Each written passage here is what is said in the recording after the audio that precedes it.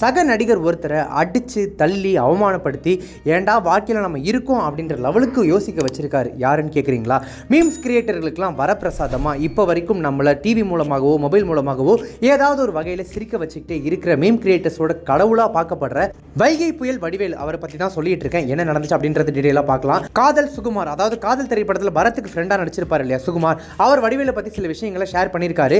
என்ன சொல்லியிருக்காரு அப்படின்னு பார்க்கும்போது நிறைய நகைச்சுவை நடிகர்கள் திரைப்படங்களை நடிக்க வரதுக்கு முன்னாடி மேடைகள்லையும் படங்கள்லையும் வந்து ஆல்ரெடி நடிச்சிட்டு இருக்கிற பிரபலமாக இருக்கிற நகைச்சுவை நடிகர்களை இமிட்டேட் பண்ணி அவங்கள மாதிரி வேஷம் போடுறது அவங்கள மாதிரி பேசி காட்டுறது இதெல்லாம் பண்ணிட்டு இருப்பாங்க அந்த வகையில் இந்த காதல் சுகுமார் அவர்களும் படத்துக்கு வரத்துக்கு முன்னாடி மேடைகள்லையும் இன்னும் ஒரு சில திரைப்படங்களையும் வைகை புயல் வடிவேல் அவரோட அந்த பாடி லாங்குவேஜ் இமிட்டேட் பண்ணி அவரை மாதிரியே பேசுறது அவரை மாதிரியே காமெடி பண்றது இந்த மாதிரிலாம் பண்ணிட்டு இருந்திருக்காரு. இதெல்லாம் பார்த்துட்டு இதெல்லாம் கேள்விப்பட்டுட்டு பயங்கர காண்டான வைகை புயல் வடிவேல் அவர்கள் சுகுமாரை நேரில் கூப்பிட்டு இது சம்மந்தமாக பேசியிருக்காரு.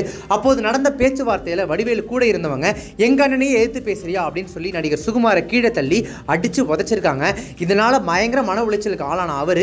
இனிமேல் உங்களை மாதிரி நடிக்க மாட்டேன் நான் ஊருக்கே போகிறேன் என்னை விட்டுருங்க அப்படின்னு சொல்லி தன்னை அடித்த வடிவேலோட ஆட்கள் அவர்கள்கிட்டையும் வடிவேல் அவர்கள்கிட்டயும் கெஞ்சு கூத்தாடி உயிர் பிழைச்சா போதும் அப்படின்னு சொல்லிட்டு அங்கேருந்து ஓடி வந்திருக்காரு. சினிமாவில் யாரை பார்த்து நடிக்க வந்தாரோ யாரோட முகபாவனைகளை யாரோட பாடி லாங்குவேஜ் பண்ணி தனக்குன்னு ஒரு பேரை கிரியேட் பண்ணிக்கிட்டாரோ யாரை தன்னோட முன்னுதாரணமாக எடுத்துக்கிட்டாரோ அவரே தன்னை கூப்பிட்டு இவ்வளோ மோசமாக நடத்திட்டாரு. அதுவும் ஆட்கள்லாம் வச்சு அடிச்சிட்டாரு அப்படின்ற இந்த சம்பவத்தினால பயங்கர மன உளைச்சலுக்கு ஆளான சுகுமார் அவர்கள் பயங்கரமாக வேதனை அடைஞ்சு எதுக்கு நம்ம இருக்கோம் நம்மளாம் இருக்கவே கூடாது அப்படின்ற கிட்டத்தட்ட ஒரு டிப்ரெஷன் ஸ்டேட்டுக்கு போயிட்டாரு.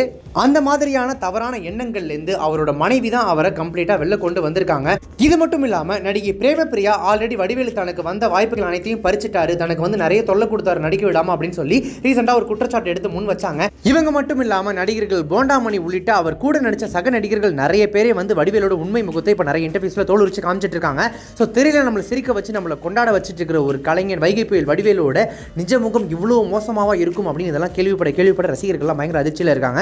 இதை பற்றி நீங்கள் என்ன நினைக்கிறீங்க அப்படின்றத கமெண்ட்ஸில் மென்ஷன் பண்ணுங்க. இப்போ இந்த வீடியோ உங்களுக்கு ரொம்ப பிடிச்சிருந்துச்சுன்னா லைக் பண்ணுங்க ஷேர் பண்ணுங்க. நம்ம சேனல் இது வரைக்கும் சப்ஸ்கிரைப் பண்ணாதவங்க யாராவது இந்த வீடியோ பார்த்துருந்தீங்கன்னா மறக்காம உடனே இப்போவே சினி சமூகம் யூடியூப் சேனலை சப்ஸ்கிரைப் பண்ணிட்டு பக்கத்தில் நோட்டிஃபிகேஷன் பில் பட்டனையும் மறக்காம டிங் நினைத்திருங்க